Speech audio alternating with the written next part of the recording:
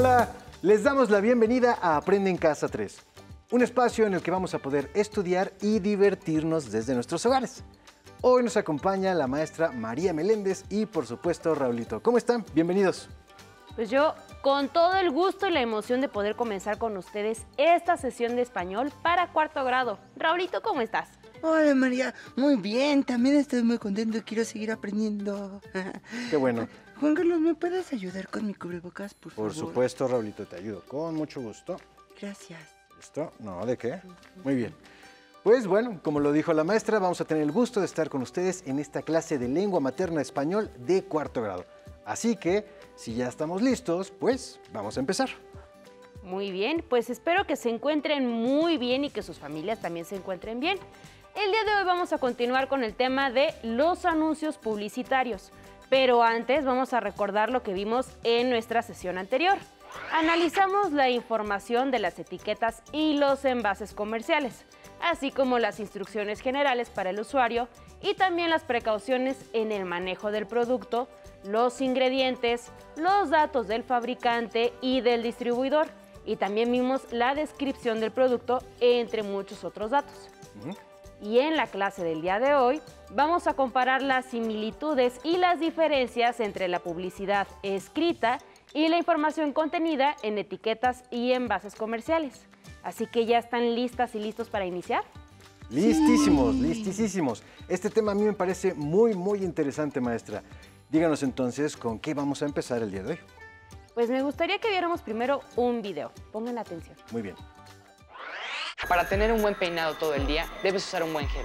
Este gel promete varias cosas. Vamos a probarlo.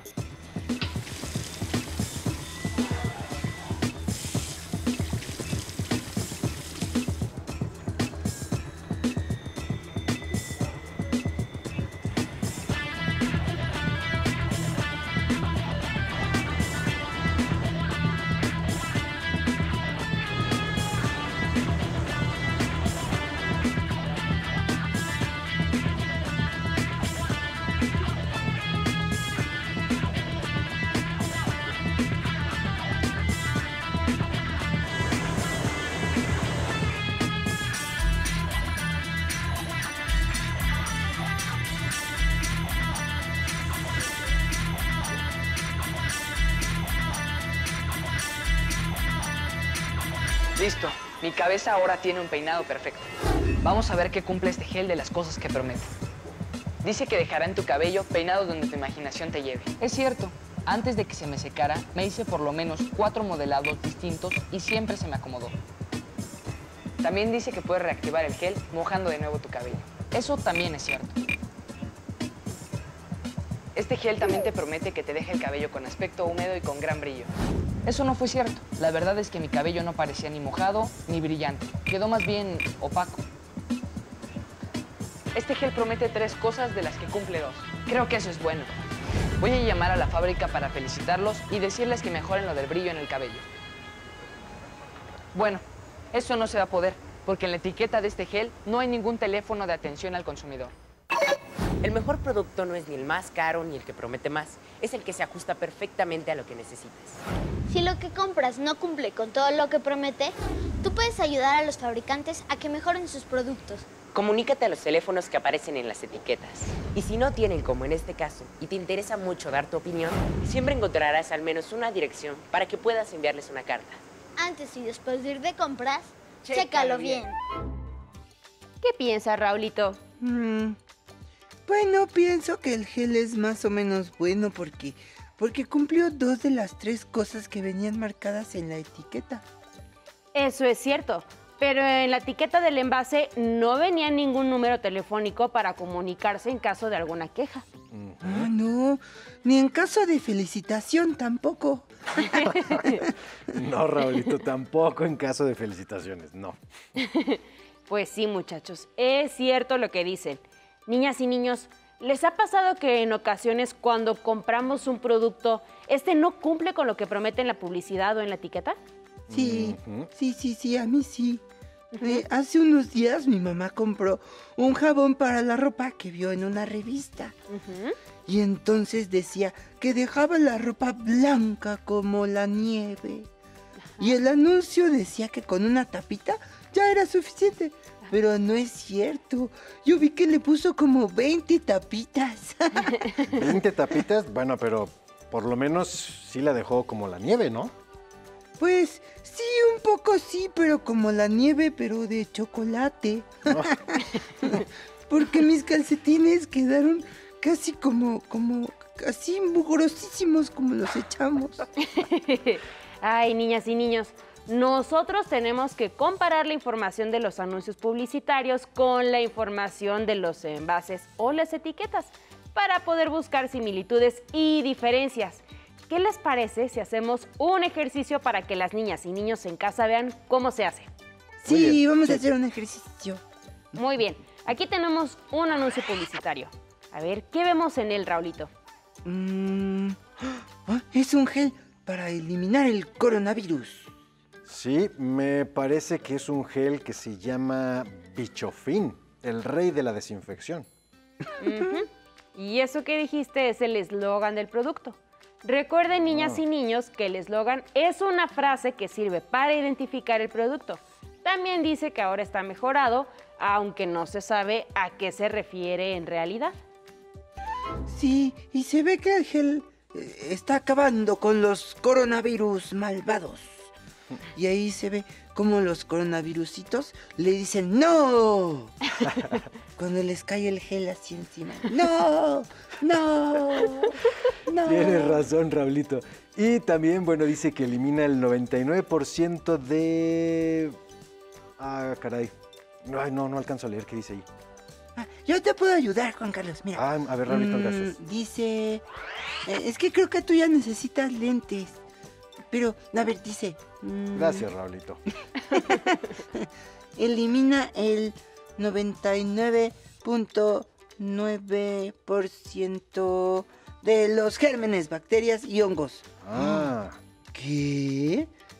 Maestra, pero no mata el coronavirus. No, Raulito, pero tú pensaste que sí lo hacía y por eso fue la ilustración. Ujú. Recordemos, niñas y niños, que los anuncios publicitarios transmiten información no solo con el texto, es decir, con las palabras, sino también con las imágenes o ilustraciones que ponen. exactamente. Me parece que caíste en el truco, Raulito. Y también, bueno, hay otras letras pequeñitas, chiquichitas, ahí abajito a la derecha que no... no ¿Me ayudas? Sí, a ver, dice. gel antibacterial, 75% de alcohol, Ajá. 370 mililitros. Ah, muy bien. Gracias, Raulito. Me parece que el anuncio está diseñado para que las personas crean que este producto puede eliminar el coronavirus. Al menos eso parece indicar la ilustración. Pero en una revisión más atenta, pues observamos que eso no es cierto. Así que aquí ya tenemos algo que debemos considerar con mucho cuidado. Pero, maestra, no es justo. Si las personas no leen con mucho cuidado, a lo mejor van a comprar ese producto pensando que si lo usan van a eliminar el coronavirus. No, eso, necesitamos quejarnos. ¿A dónde nos Mm, quejamos? El asunto es que el anuncio nunca dice que elimina el coronavirus, Raulito. Usa una imagen que todos o casi todos y todas identificamos como el coronavirus, pero nunca dice que lo elimina. Ah, sí, es cierto, es cierto, Raulito. Bueno, creo que este es otro de los muchos recursos que utilizan quienes hacen la publicidad de los productos. Pero para eso, las niñas y los niños ahí en casita y todos nosotros debemos revisar muy bien, con mucha atención, todo lo que viene allí, ¿eh? Exacto. Y ahora vamos a revisar la parte frontal del envase. ¿Qué es lo que observan? Dice Mm. la marca, que es Pichofín, Ujú. y el eslogan, otra Ajá. vez. Exacto. Ajá. Me parece que vuelve a decir que elimina el 99% de gérmenes, bacterias y hongos, pero esta vez, eh, bueno, en letras muy chiquitititas. Exacto. Mm, ah, y bueno, también dice lo del gel antibacterial, ¿no? 75% de alcohol y la cantidad de gel, que es de 370 mililitros, pero ya no dice lo de ahora mejorado. Muchas gracias muchachos. Ahora vamos a ver la parte posterior de la etiqueta. Ahí también vamos a encontrar información que debemos analizar, así que pongan mucha atención Raulito, Juan Carlos, ¿qué información tenemos aquí? Mm, a ver, Uy, maestra, aquí hay muchísimas letras. A ver, seguro son puras mentiras. No. a ver, Raulito, no, no, no, no, no. No todo lo que dicen los anuncios publicitarios y las etiquetas de los productos es mentira. Hay que fijarnos muy bien, Raulito. Pues sí, pero yo ya no confío en las letras chiquitas. Justo por eso lo mejor que podemos hacer es revisar con mucha atención. Juan Carlos, ¿nos ayudas a leer, por favor? Claro que sí, maestra. Dice, bueno, primero vienen las instrucciones de uso y dice aplicar el producto en las manos o superficies a desinfectar y frotar. Luego tenemos las advertencias. Evita el contacto con los ojos, no deje al alcance de los niños y, bueno, también dice que es inflamable. Luego tiene el contacto donde, que dice productos de limpieza El Rey, México. Viene nuestro teléfono que también dice 01900 123 456. La caducidad que dice que es hasta el 01 del 05 del 2023, o sea, el primero de ah, mayo del 2023 y luego viene el lote de- del envase. También dice que viene es elaborado con plástico reciclado y bueno, nuestro código de barras al final. Pero, ¿qué es eso del código de barras? Son esas rayitas verticales que se ven hasta abajo a la derecha, Raulito. Y ese código contiene información relativa al producto. Cuando lo pasan en la caja, por ejemplo, ofrecen el precio, entre muchas otras cosas. Bueno, creo que ya podemos hacer un análisis de las semejanzas y semejanzas, perdón, y diferencias entre la información que aparece en el anuncio publicitario y la que viene en la etiqueta del producto. Así que niñas y niños pongan mucha atención para que ustedes en casa puedan hacer el mismo ejercicio con cualquier producto que tengan a la mano. Muy bien. Ah, yo, yo, yo, yo quiero empezar, por favor. Muy bien. Sí, vimos que el anuncio y la etiqueta tienen la marca y el eslogan. Exacto, Raulito. Y también tiene la promesa publicitaria, que es elimina el 99% de gérmenes, bacterias y hongos. Ujú. Eso último es la aclaración a la promesa, porque viene en letras muy pequeñas en ambos casos. Ahí es donde nos damos cuenta que no elimina los virus y evidentemente tampoco dice nada del coronavirus. Exacto. También en los dos casos viene la composición y el contenido. Ahora, ¿qué me dicen de las diferencias? Mm, bueno, en la etiqueta de atrás sí viene información que no contiene el anuncio, ¿no? Como las instrucciones de uso, las advertencias o los datos de contacto. Así es, Juan Carlos. Y también viene información que ya aprendimos a reconocer en la clase anterior, como la caducidad, el lote, trae también el código de barras y la información sobre el envase, que es donde dice que está reciclado. Y eso la verdad es que es algo muy bueno. Sí. Maestra, yo lo que me di cuenta es que el envase ya no trae la ilustración. Esa donde aparece que el gel está acabando con los coronavirus. Esa es una muy buena observación, Raulito. Niñas y niños, ¿qué les parece este análisis que hemos hecho? Espero que hayan podido apreciar algunas de las semejanzas y diferencias que hay entre la información que ofrece el anuncio publicitario y la que ofrecen las etiquetas de los productos. Yo creo que las etiquetas traen más información. Sí, eso es cierto, Raulito. A mí me parece que los anuncios tienen, bueno, eh, menos información y que además, eh, pues la presentan de una forma que puedan atraer la atención de las personas, ¿no? Es cierto. Y hay ciertas semejanzas y diferencias que podemos apreciar claramente. Lo más importante es que seamos capaces, niñas y niños, de identificar los recursos publicitarios para compararlos con la información más específica y concreta relativa al producto, que normalmente las vamos a encontrar en las etiquetas. Ustedes en casa, niñas y niños, tienen que ser muy observadores y observadoras. No se dejen cautivar por la publicidad. Revisen siempre las etiquetas de los productos que vayan a comprar o consumir. ¿Y saben qué? Yo me di cuenta que el eslogan se repite siempre tanto en la publicidad como en las etiquetas o estampados del producto. María, ¿eso por qué pasa? Pues como ya lo habíamos comentado, el eslogan sirve para reconocer e identificar el producto. Miren, vamos a ver el siguiente video. En tu memoria pueden quedar grabadas muchas frases con facilidad. Nadie sabe para quién trabaja, camarón que se duerme se lo lleva a la corriente, el león es como lo pintan, etc. Se te graban rápido porque en pocas palabras encierran varias ideas, imágenes o emociones. Los fabricantes buscan frases así de cortas que se conviertan en el lema o eslogan de sus productos para que se graben en tu memoria y no los olvides al momento de comprar. Nos conocen muy bien. Estamos con Spooky, que es director creativo de S2 México. Hola, Spooky. Hola Paula. Hola Rual, ¿cómo estás? ¿Cómo ¿Cómo están? es un eslogan? Un eslogan, mira, se junta un grupo de personas que son creativos, redactores o directores de arte y empiezan a pensar en una idea. Normalmente esa idea la piensas para comunicar algo acerca de una marca y tienes que fijarte a quién le vas a hablar. Ujú. Cuando tú encuentras ya qué decir, que tienes la idea grande, de esa idea tratas de buscar una frasecita que en cinco o seis palabras resuma lo que quieres decir de la idea. Esa frasecita tiene que ser memorable para que la gente se acuerde de ella. ¿En qué se fijan cuando hacen un eslogan para nosotros? Mira, todo el trabajo creativo tiene que ver con la observación. Nos fijamos por un lado en qué cosas les gustan, cómo qué programas ven, qué palabras usan, qué ropa les gusta ponerse. Y por otro lado, desde un punto de vista mucho más profundo, en qué cosas son importantes para ustedes. La familia, sus amigos, pertenecer a un grupo de cuates, ¿sí?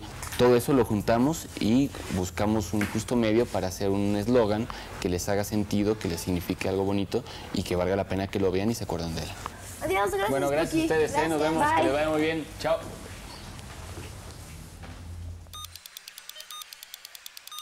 Los eslogans son un buen truco para darle personalidad a los productos.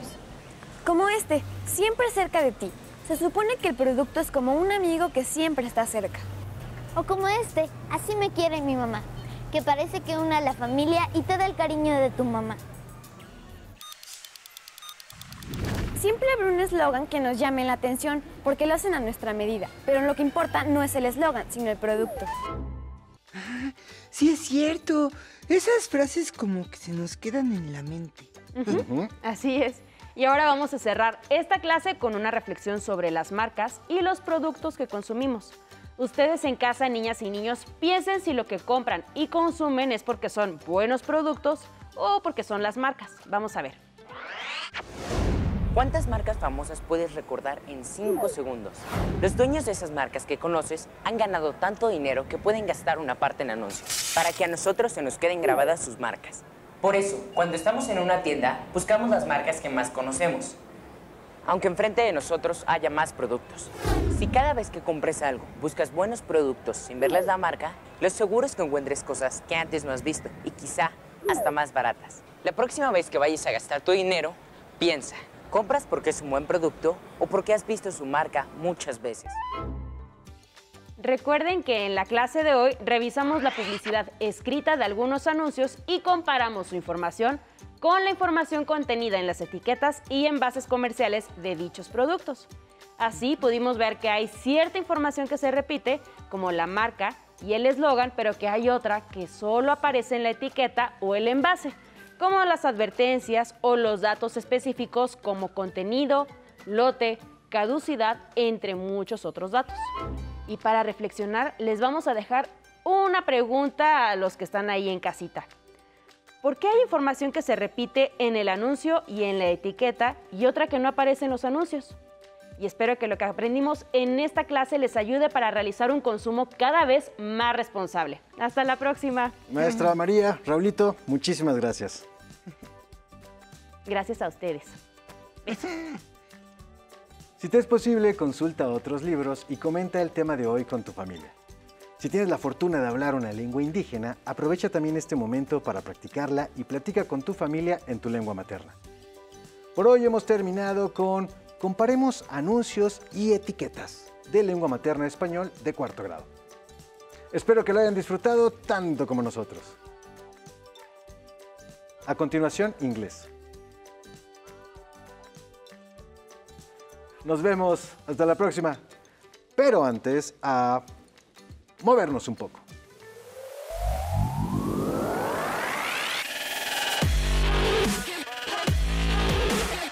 Recuerda, entre clase y clase, activa tu cuerpo. Vamos a trabajar un ejercicio de coordinación que se llama caperuza. Vamos a levantar nuestra pierna derecha y la mano derecha igual y al mismo tiempo vamos a elevar talón del pie contrario. Izquierda, y elevamos talón. Derecha y elevamos talón. Bien. Un poco de equilibrio se necesita y coordinación. Una más. Una más. Acuérdate, levas rodilla y la mano del mismo pie. Bien, bien. Nos ponemos en posición y elevamos rodilla derecha, mano derecha. Muy bien, izquierda. Muy bien. Un hago un poco más despacio para que puedas levantar rodilla y mano de, al mismo tiempo, elevando el talón del pie contrario. Bien. Haz una coordinación.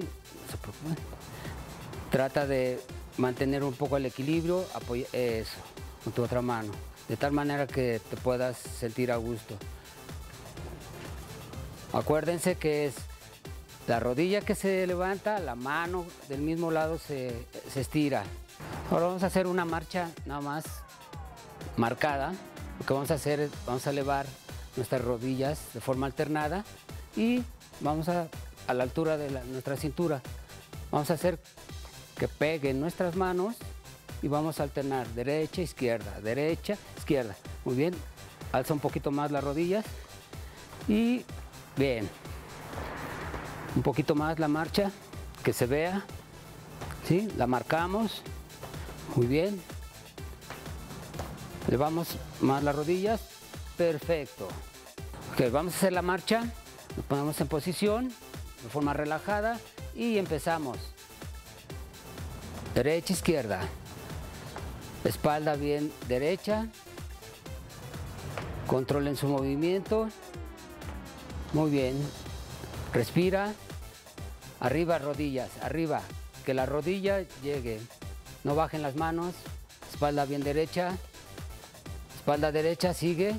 Sigue. Eleva más la rodilla. Muy bien. Perfecto. Así. Más. Recuerda, al terminar la activación, no olvides la protección.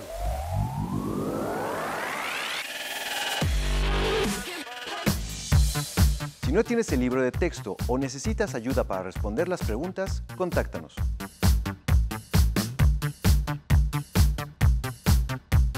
Para apoyo pedagógico, hay maestras y maestros de lunes a viernes de 8 a 20 horas en el teléfono 55 41 72 04 13 con 100 líneas. También puedes encontrar los libros de texto en la página conalitech.sep.gov.mx. Si quieres volver a ver los programas de Aprende en Casa, los puedes encontrar en la siguiente liga: aprendeencasa.sep.gov.mx.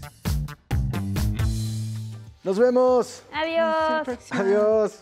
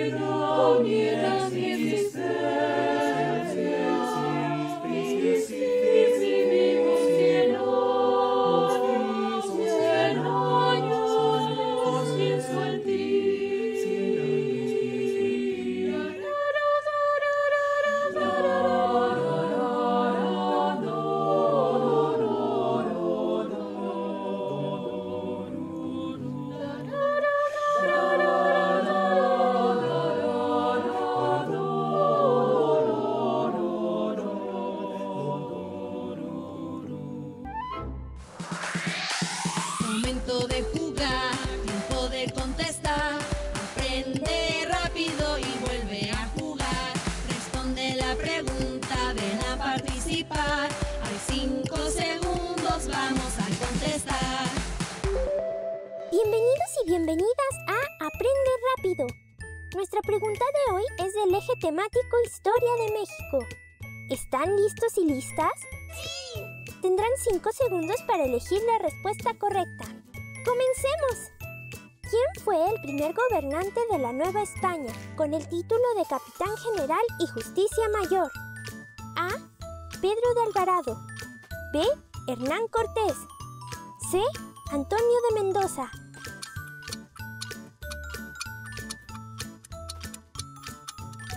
La respuesta correcta es B.